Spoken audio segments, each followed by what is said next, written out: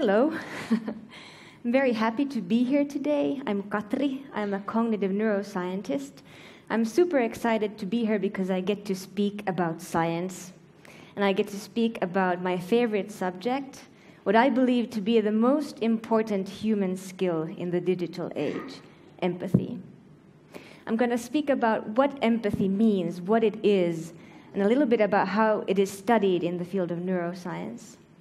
I'm going to speak about why I believe that empathy is so important, why it's always been important for human beings, why it's important now, and why I believe that its importance will only increase in the future. And last, because em empathy is so important, I'm going to speak about what it requires. What does the science tell us? What kinds of things increase empathy? What kinds of things decrease empathy? After the first topic. What is empathy? In short, empathy is all the skills that we have that allow us to understand each other. It's all the mechanisms that allow us to share our thoughts and share our feelings. In the field of neuroscience, empathy is typically divided into three separate skills that are supported by different brain mechanisms. We speak about empathy on the level of thoughts, understanding what another person is thinking, putting yourself in another person's shoes or in another person's brain. We speak about empathy on the level of feelings, feeling what another person is feeling, feeling another person's emotions as they were your own, and empathy on the level of actions. And that is basically what you do based on this information. When you, if you have the ability to put yourself in another person's shoes, and feel what they are feeling, do you do something about it? Do you try to help? So, these three things are supported by different brain mechanisms. And empathy on the level of thoughts happens because we have brain mechanisms that make us all mentalists. There is a network in the brain, it's called the mentalizing network, that is active when we think about our own thoughts, for example, our memories, when we think ahead and think about the future or plan the future, as well as when we think about the thoughts of others. On the level of feelings, empathy happens because we have brain mechanisms that make emotions very contagious. It's very easy to catch the emotions of another person. For example, when you show a face, a happy face, to a, to a human being, quite often, automatically, the muscles that control the smile on the face become active. So it's very automatic, often unconscious. This is true also for negative feelings. And according to several studies, for example, the experience of pain may be very contagious. And there are studies that show that the same brain areas are active when you yourself get hurt as when you see your friend getting hurt. So there are situations where your pain is the same as my pain, when our brains don't separate, our, don't create um, a division between you and I. And I think that's a very beautiful finding in the field of science. Third, empathy on the level of actions happens because we have brain mechanisms that make helping others very rewarding. People like helping others, people enjoy sharing. For example, there was a study where people were asked to play a game inside a brain scanner, and they were rewarded for playing the game. According to the results of the brain scan, however, the areas that are responsible for experiencing pleasure and reward were a lot more active when a friend was rewarded too. So, this is the neural basis of empathy. It's all these mechanisms we have that allow us to put ourselves in another person's shoes, feel what other people are feeling. Now to the so what part. Well, so what? Okay, there's this thing called empathy. It's based on these brain mechanisms. Why is it important? Why should we care? Well, I feel it is, it's a highly important skill. I feel it's been important since the dawn of man, it's been important since prehistoric times. It's a very important skill at this very moment, and in the future, the importance of empathy will only increase. First, let's look at the history. Um, there are some researchers that propose that empathy is actually one of the main reasons that human beings have survived. So let's take a trip back in history. Let's go to the prehistoric times, a time when people were living among big beasts like lions and bears. so there is no way people are a lot weaker, smaller, and, and uh, slower than bears and lions. There's no way we could take on a lion on our own. We could do it by coming together. So the theory is that because we have empathy skills, this allows us to collaborate, to cooperate. And because we cooperate, that is how we managed to survive in an age when we were living among these terrible beasts. So, how about now? We're not fighting lions in the street now. We have other kinds of challenges. But I, I suggest that empathy is still highly important because it's together how people achieve the greatest things. It's together how we solve the biggest problems. Just as no man alone could take on a lion, no man alone could put a, a, rover on Mars. It requires collaboration. If we want to achieve big things, we need to collaborate. One mind is not enough. Collective intelligence is our best problem solving tool, and empathy is the root to this. Well, how about the future? I already told you that I think that empathy, the importance of empathy, will only increase in the future. Why is that? Well, one, one um, example comes from the field of work, from the world of work. We've all heard that work is changing people are a little worried because robots are coming to work and they're going to take our jobs.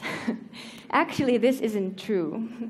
Sadly, work won't decrease, but the types of tasks that humans focus on will change. So, what does it mean that robots are coming to work? Well, it means that humans will focus on work in which the robot sucks. so, we'll do the things that the robot cannot do. Well, what kinds of skills does this type of work require? Well, it's not the skills that are typically connected to intelligence, like whether you're really quick with your thinking, whether you remember all the dates or things like that. It's skills such as these learning, creativity, flexible thinking, but most importantly, empathy. Empathy is a skill where we can take on the robot. it's a skill that the robots do not have. And in summary, this means that empathy will be the most important future work skill. Actually, I think it's the most important work skill already now. So, there, empathy has always been super important. It's important now, and it'll be only more important in the future. So, if it is this, this mighty important thing, what does it require? Is there something that science and, and experience could tell us about empathy? How to increase it, how to decrease it? First, let's look at the enemies of empathy. What makes empathy go away? One thing that is definitely an empathy killer is fear. Fear towards the unknown, and especially fear towards difference. Fear towards difference leads to us versus them thinking. It leads to in group, out group thinking. And when we draw this line between ourselves and other people, it means that the mechanisms of empathy turn off. The feelings of the other person aren't contagious anymore. We don't feel their pain. We don't put ourselves in their shoes. Another thing that kind of kills empathy is lack of emotions. Sometimes the importance of emotions is not understood. We like to think of ourselves as rational, logical thinkers. But actually, emotions carry within them highly significant information. If we don't get this information about the emotions of others, it's very difficult to truly understand each other, to truly connect. And this is a problem that is very particular to the digital age, because for some reason, digital systems are not designed to take human emotions into consideration. The internet is not designed to permit rich expression of emotions. Actually, the mechanisms, the tools we have for expressing our emotions on the internet are very, very poor in quality. And nothing compared to the information that is traveling between us right now. What does this lead to? Well, this leads to lack of empathy. There's no emotion contagion, only the facts, only the message, the, the facts of the message get through, not the emotions. This means it becomes very easy to be mean online when you don't feel the pain of the person reading your message. It means it, we can actually become very cruel online when we don't feel what the reaction that our message is causing. Uh, even though this phenomenon takes place online, the consequences are felt in real life. So there could be a problem. And that is why we should be interested in any way we can increase empathy, online and in real life. So now to the, the good news. There are ways to increase empathy. One of them, a suggestion from a neuroscientist, is let's try transcranial magnetic stimulation. yeah, yeah. In the 20s, it looked something like this. Luckily, technology has advanced, and currently uh, the TMS device looks something like this. So, the aim of this device is with the help of a strong magnetic field to stimulate the brain and cause um, activity in the brain. And believe it or not, stimulating the brain with a large magnet does cause empathy. it makes us more pro social and it uh, increases emotion contagion. So, there, problem solved. You just zap your brain and become more empathetic, right? uh, luckily, I also have a, another solution, another suggestion you might want to try, and that is become an explorer of the world. Become an explorer of the world. There are as many realities in this world as there are people. There are 7.4 billion different realities for you to go out and explore. And through this exploration, decrease your fear of the unknown, decrease your fear of difference. This doesn't mean that you have to travel, even though that's an excellent option. you could also read a book. Reading is one, uh, one very efficient way to get to know new worlds, get to know different realities from your own. And according to research, reading fiction does increase empathy skills. It increases our skills of understanding others' feelings as well as others' thoughts. Another suggestion, in addition to transcranial magnetic stimulation, might be finding ways to get on the same wavelength with others. One good way to do this is through music.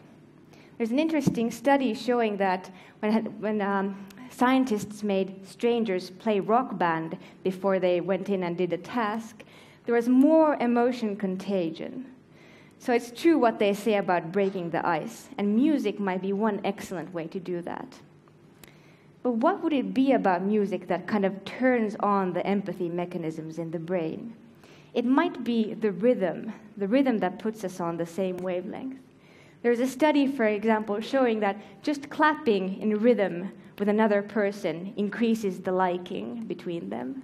Or rocking in a rocking chair at the same speed in synchrony increases cooperative ability as well as um, empathy.